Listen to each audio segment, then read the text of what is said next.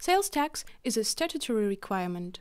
Accurate sales tax reporting is essential to reduce the risk of an audit, which might lead to back taxes and penalties. Relying on time intensive and error prone spreadsheets and ever changing local tax rules further adds to the complexity of the sales tax reporting process.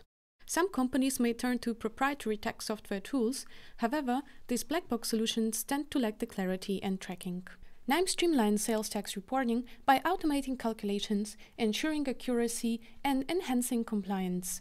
Its visual workflows offer transparency, traceability, and detailed transaction tracking.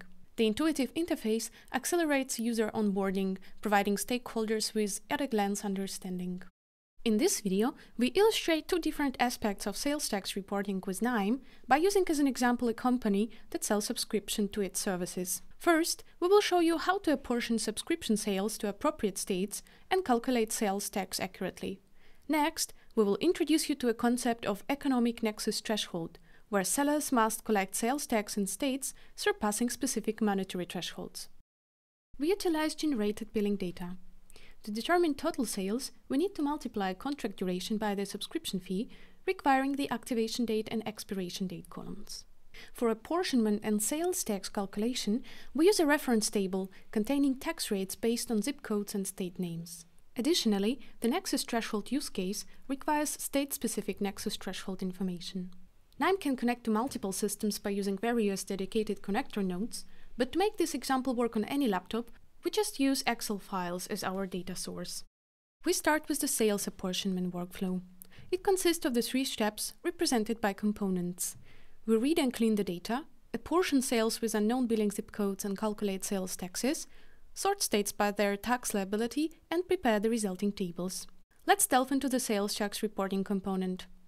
To calculate total sales per customer, we compute the duration of each subscription within the selected 12 months period, and then we multiply the subscription fee by the duration.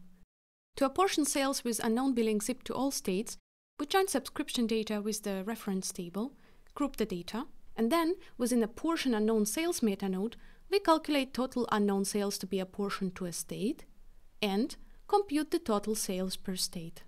Subsequently, we calculate sales tax for each state and visualize total sales and sales tax by state. In the third component, we sort and save the results. Now, let's shift to the Nexus threshold workflow. The first component is the same but with one extra data table.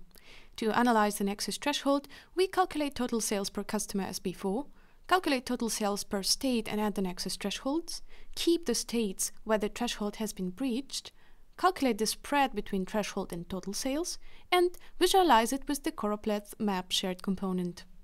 In the last component, we assign Nexus threshold statuses to each state, apply an intuitive color scheme, and view the table. To create two data apps out of these workflows, we introduce interactivity with widget nodes. The first components now include a text view node with instructions and file upload widget nodes to allow the upload of data in the data app. The second components now have the date and time widget node, which allows the end user to override the start date of the taxation period. The third components now contain file download widget nodes, enabling direct download of resulting tables from the interactive dashboard. To all components, we have also added the Data App Flowchart shared component, which generates a flowchart header at the top of the composite view. Let's see these data apps deployed on KNIME Business Hub in action. On this web page, you can interact with the Sales Apportionment Data app. Above, you can see the flowchart we just mentioned, which tracks your progress. All three pages you go through correspond to three components we created in the KNIME Analytics platform you can specify the start date of the 12 months period and apply it immediately. As a last step, you can download the resulting table. Lastly, let's see how the Nexus Threshold data app works.